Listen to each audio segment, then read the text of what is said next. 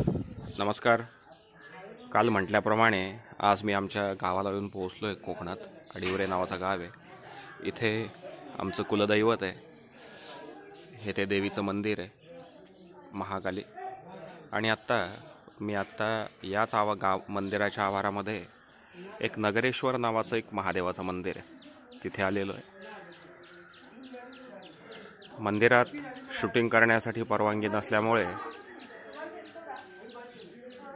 मी बाहेरच्या बाहेरचा परिसर तुम्हाला दाखवतोय. अशा पद्धतीने हा सगळा परिसर आहे. चला आता आपण दुसरीकडे जाऊयात. आता मी तुम्हाला राघव कुठे गेला? आता मी तुम्हाला आमचं जे महाकाली देवीचं मंदिर आहे त्याचा परिसर दाखवतो. अतिशय सुंदर आणि प्रासादिक मंदिर आहे. या ठिकाणी जी महाकाली देवीची मूर्ती आहे ती आद्य शंकराचार्यांनी स्थापन केलेली आहे. हा नगरेश्वर मंदिराचा परिसर आहे. हे जे समोर दिसतंय हे श्री महाकाली देवीचं मंदिर आहे. चला आता आपण मंदिराकडे जाऊया. ही आवारातली काही घरं आहेत छोटी छोटी अडिवरे हे पूर्वी वाडीच होती ही. परंतु आता इथे ग्रुप ग्रामपंचायत झाली आहे. आणि ग्रुप ग्रामपंचायत वाडापेठ या नावाने ही मंदिराची मागची बाजू आहे. आत्ता आपण नगरेश्वर मंदिराकडनं आलेलो आहे. आणि आता आपण मंदिराच्या मुख्य गाभाऱ्यात प्रवेश करूयात.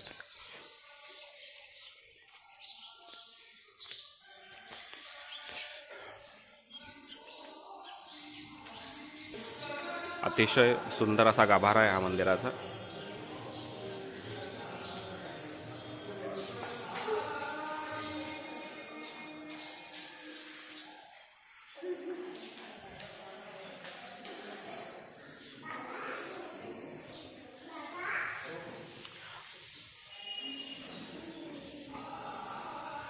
हे आता आपण नगरेश्वर मंदिराकडनं आलो तो रस्ता आहे. सप्तशतीत सांगितल्याप्रमाणे या मंदिराची रचना ही केलेली आहे. मध्यभागी महालक्ष्मीचं मध्यभागी महाकाली देवीचं मंदिर आहे. हे महालक्ष्मी आहे.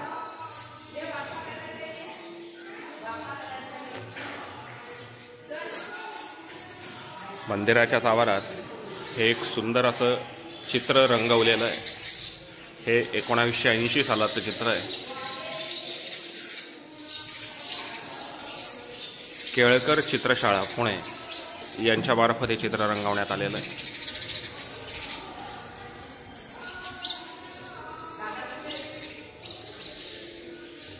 दादा नगरेश्वराच्या इथे. हे महासरस्वती देवीचं मंदिर आहे. आणि हे जे समोर आहे हे आमची कुलदेवता आहे.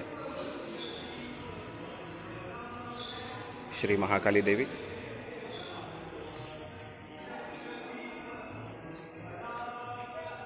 आता मी तुम्हाला इथली आणखीन एक खासियत दाखवणार आहे. ती म्हणजे इथली विहीर.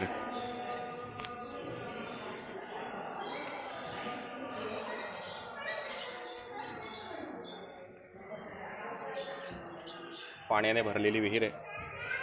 आणि या विहिरीचं एक वैशिष्ट्य तुम्हाला सांगायचं म्हणजे इथे आपल्या भागात ज्या पद्धतीने पोहरे दिसतात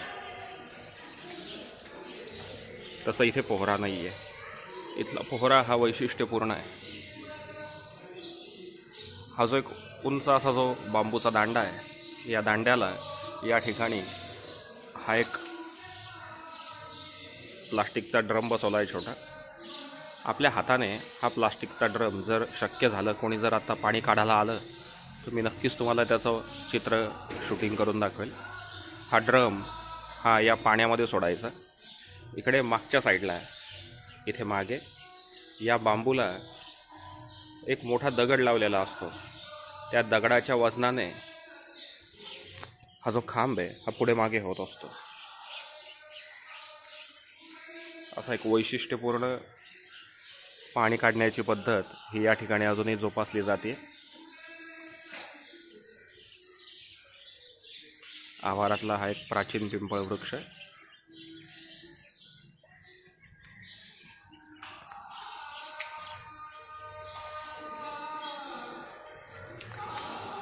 कोकणामध्ये वरद ती धावा धावी आणि उड्या मारण्याची जागा नाहीये. कोकणामध्ये दशका दशावतार नाटकांचं खूप महत्त्व आहे. गावामध्ये दरवेळी अशाच पद्धतीचे काही कार्यक्रम होत असतात. तेवढ्यासाठी इथे हा एक महाकाली रंगमंचाची स्थापना पण आवारातच केलेली आहे. अतिशय सुंदर हे मंदिर आहे. समस्त परांजपे कुटुंबियांची ही कुलदेवता आहे. आवारामध्येच बँक ऑफ इंडियाची पण एक ब्रांच आहे.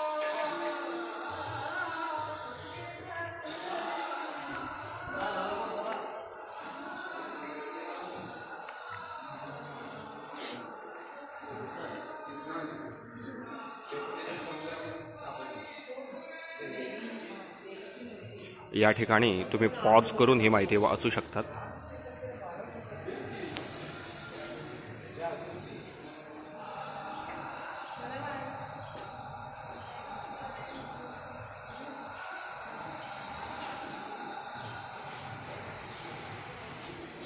माझी अशी विनंती असेल की इथे व्हिडिओ पॉज करून वाचा.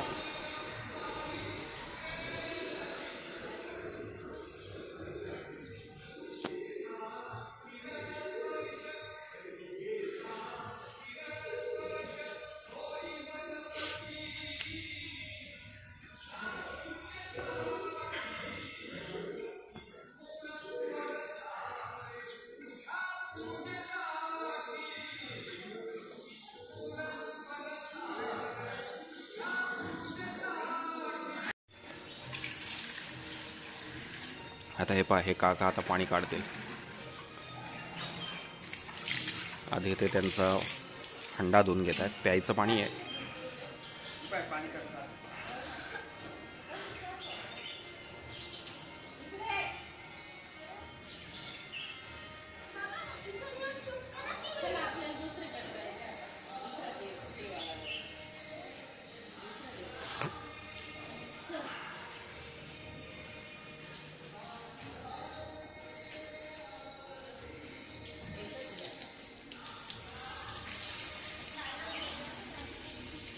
हा इथे हा जो दगड लावलेला आहे त्या दगडाच्या वजनाने हा भला मोठा दांडा हलती येतो.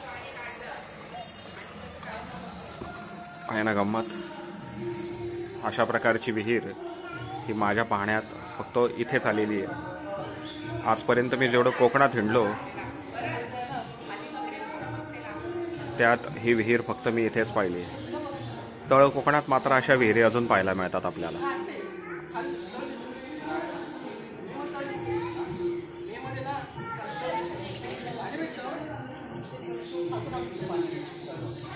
पिशवीत आहे का? हे आमचं परांजपे कुटुंबियांचं कुलदैवत आहे.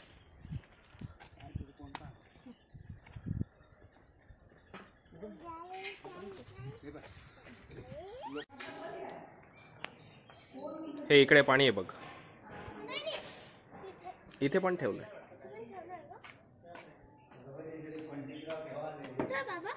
हे इकडे.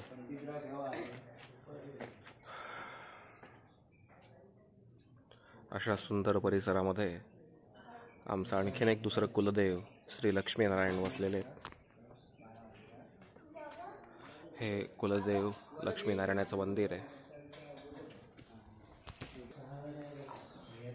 अतिशय सुंदर असं मंदिर आहे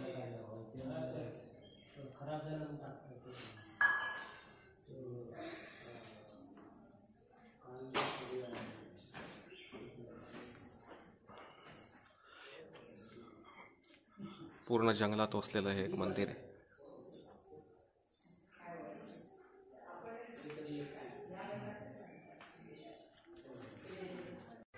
नमस्कार. राघव राघव फोटो काढतोय मी. हां हसायचं. दूर होतं. हे जे आता नवीन झालेलं मंदिर आहे त्याचा हा जुना फोटो आहे. जुनं मंदिर हे या टाईपचं होतं.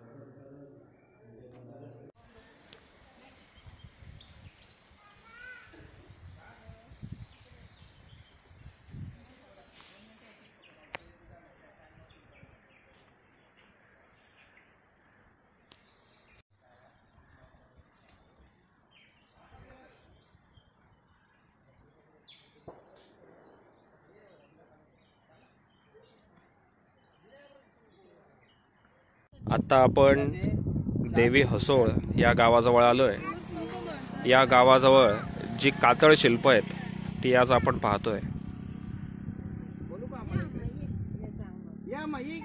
ही जी कातळ शिल्प आहे याच्यामध्ये विविध प्रकारचे प्राणी हे आदिमानवाने खणून ठेवलेले आहेत. पण हे का खणले गेलेत याचा अर्थ अजूनही कोणाला सापडला नाहीये. ही जी सर्पाकार आकृती दिसतीये हा एक साप आहे. हे समोरच आर्यादुर्गाचं मंदिर आहे. देवी हसोळ नावाचं गाव आहे. तिथला हा परिसर आहे.